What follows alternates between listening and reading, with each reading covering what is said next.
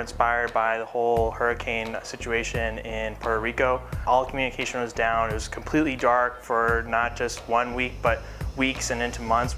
So Project Owl is kind of a two-part solution. We have a software incident management system that first responders and civilians can use to manage a disaster, coordinate resources, learn about weather patterns, and get information data analytics through the cloud.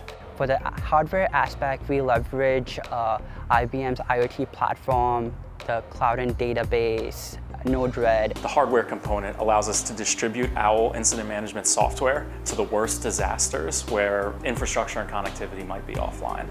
Once uh, this network is deployed, this network of ducks are deployed in a cluster or clusterduck, uh, the civilians are able to basically get on the devices to a really intuitive interface, contact the responders, and basically send a list of things that are really essential to them. And you walk into Starbucks and you want to connect to uh, the Wi-Fi, a little page comes up, so it's kind of the same idea.